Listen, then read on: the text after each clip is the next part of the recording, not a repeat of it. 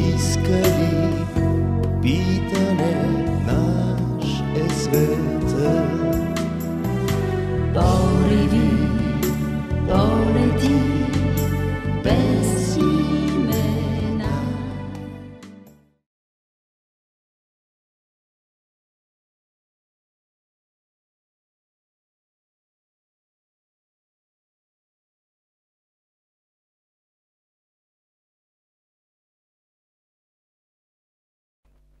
Помна обаче едно, че аз нямах и не съм имал през живота си никаква друга професия, освен партийното членство.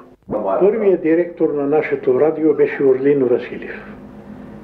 Той го е превземал с група наши другари, изгонил там всички фашисти, настанил наши момчета и наши редактори и аз го поех от него. Да. Орлин беше изварено енергичен човек. Изварено.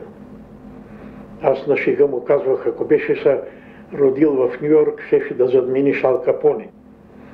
А ние какво правихме тогава наистина? Преди всичко предавахме на живо, защото магнитофона се появи много по-късно. На живо предавахме всички наши митинги, събрания, където и да ставаха по страната. Второ, не пускахме опозицията пред радиото. Лулчевци, пастуховци искаха да, да водят агитация по нашето радио. Аз се позовавах на едно положение в съглашението за примирие, а именно никаква фашистка пропаганда не се допуска у нас. И на това основание нито Лулчев, нито Пастухов имаха достъп до нашето радио.